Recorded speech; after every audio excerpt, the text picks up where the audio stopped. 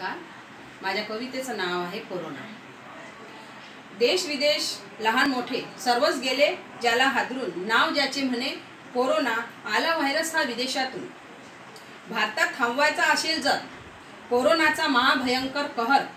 उपाय आहे एकच रामबाण.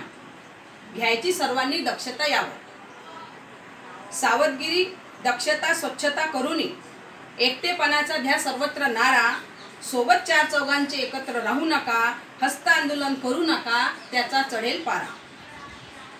राम राम करा जय कृष्ण म्हणा. हात जोडून लवकर घरून घरी निघून जा. गप्पा गोष्टी टाळा आलिंगन करू नका भेटी गाठी थोडे दिवस विसरून जा.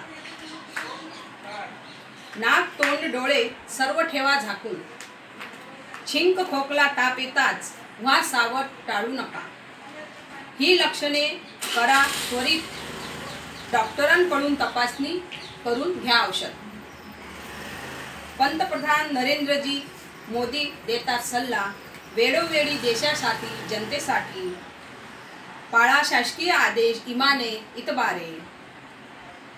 करा अंमलबजावणी आपल्या कुटुंबासाठी. नाही यावर अजून निघाले कोणतेच कोणतेच औषध दक्षता हाच साधा उपाय. न होवो मला न होवो तुला न पसरो देशात. करा करा एवढेच साधे सोपे जनजागृतीचे उपाय. कुटुंब सुरक्षित तर समाज सुरक्षित. समाज सुरक्षित तर राज्य सुरक्षित.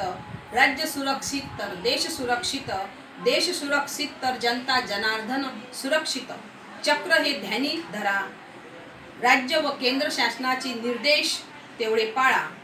कोरोना विरोधी महायुद्ध जिंकून देशप्रेमी असल्याचे विश्वाला सिद्ध करून दाखवा. जय हिंद जय भारत.